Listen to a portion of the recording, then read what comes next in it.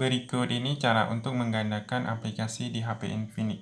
Jadi untuk menggandakan langsung saja berikut ini. Pertama, tidak semua aplikasi bisa digandakan.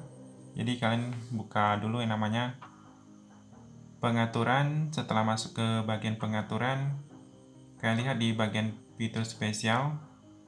Nah, di sini biasanya dulu ada menu untuk menggandakan aplikasi.